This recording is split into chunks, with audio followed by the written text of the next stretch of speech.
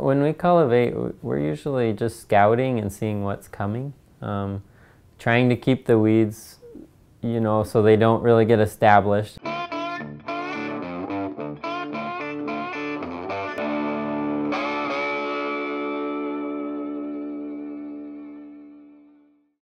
While earlier cultivation passes require more care and attention to detail, later cultivation passes require keeping a close eye on fields to know when it's time to get back out there.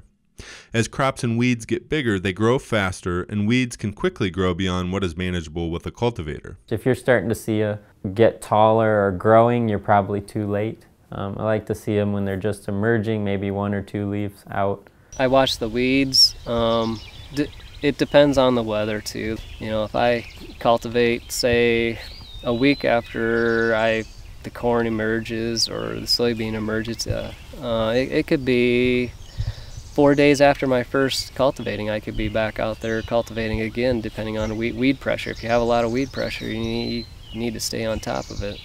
The number of cultivator passes varies a lot and depends on weather, weed conditions, crop growth, and more.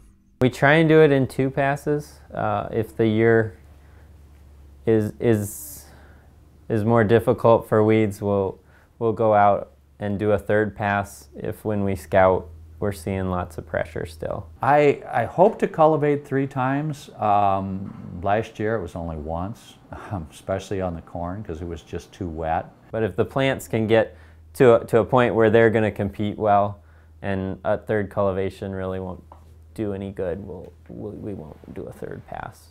I try and do it in two, if I can. You've got to get that last cultivation in before it canopies and gets closed up.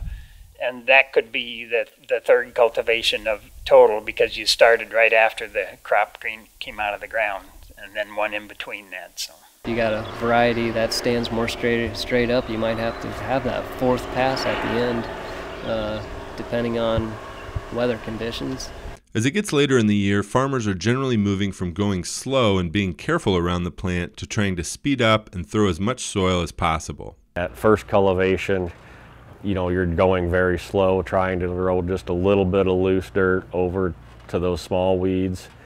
At second cultivation, you may have some three, four, five inch tall weeds at that point. Then you can get really aggressive, moving a lot of soil and trying to bury those those weeds in that um, next to the row. Once the, the plant gets up and it's out of the ground well, then you can speed up a little and you can go a little deeper. Speed is what throws that dirt, and if you get behind throwing that dirt, is sometimes what what can make it look better. And then second pass, we're we're generally going pretty quickly, um, and we're just trying to cut where we can cut and throw a good amount of dirt where we can't get to with the mechanical cultivator. And then once it's really established and up, maybe your last cultivation, you can probably actually keep get it up out of the ground, but you can go a lot faster then because you really want to move the dirt. Because the only way you can get it with that cultivator then is to get that dirt thrown into the row to get those weeds that are growing in the row because you, your cultivator won't, won't get into the row. It'll only be between the rows. Eric likes a buffalo cultivator on later passes because it enables him to throw lots of soil. Second or third cultivation or always use a buffalo basically or a single sweep just because at that point your weeds are big. That big sweep, you can, it's easy to get set deep enough. They have enough weight to get deep to get underneath and cut out the roots or move you know, three, four inches of soil around that base of that plant and bury the, the weeds right next to the row.